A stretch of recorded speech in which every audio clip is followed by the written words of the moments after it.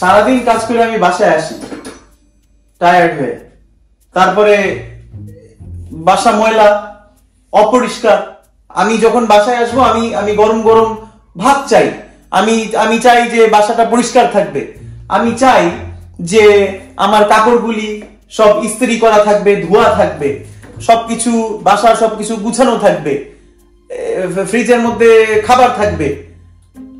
কেউ আমার পাটা এসে একটু টিপা দিবে কারণ আমি সারাদিন হাঁটাহাঁটি করছি। অনেক কষ্ট করছি আমি বাসার মধ্যে। মানে